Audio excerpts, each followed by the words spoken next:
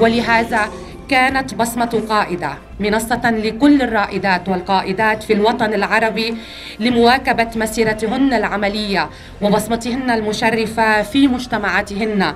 إنها رسالة المجلس الإنماء العربي للمرأة والأعمال للعالم وإن المرأة العربية لا تتهيب صعود الجبال ولن تعيش أبد الدهر بين الحفر. ساهموا في تشجيع وتحفيز بناتكن زوجاتكن طبعا حديث للرجال أمهاتكن وإخواتكن على التمايز والنجاح لأنه استثمار مربح لكم وللوطن أنتن صانعات المستقبل. بصمة فائدة جائزة أرزة الشرق تمنح لسعادة المديرة العامة للشؤون السياسية واللاجئين في وزارة الداخلية والبلديات في لبنان السيدة فاتن يونس الصلوفي حضرة السيدة إيمان غسين رئيسة المجلس الإنمائي العربي للمرأة والأعمال السادة النواب وممثلين الوزراء سفراء وقناصل السلك الخارجي أيها الحفل الكريم.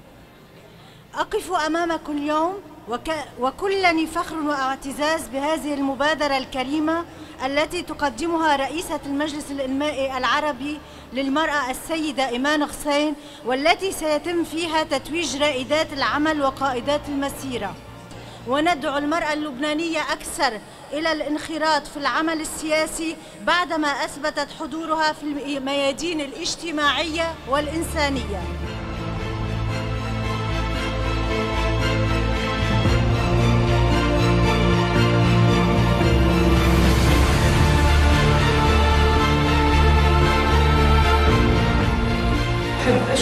أشكر الأستاذة إيمان غسين على نشاطها ومبادراتها المتألقة دائما وأنا طبعا بشوف حالي فيها. وأنا فخورة بهالدرع من المجلس العربي الإنمائي العربي للمرأة والأعمال اللي رح أعتبره هدية لمنظمة المرأة العربية من قبلكم.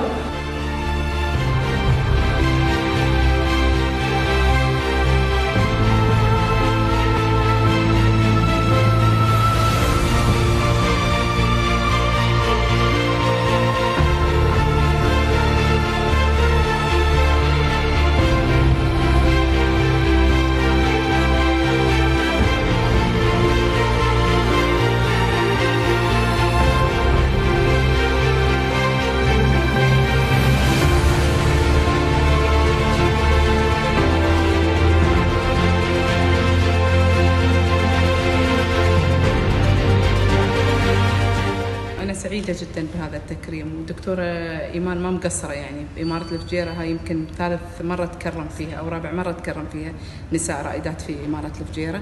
وطبعا عندها مشاركات على مستوى الدولة والمؤتمرات اللي تقيمها الخاصة بالمرأة. داعمة حقيقية دكتورة إيمان للمرأة حبيبتي نحن مع بعض بنكمل بعض.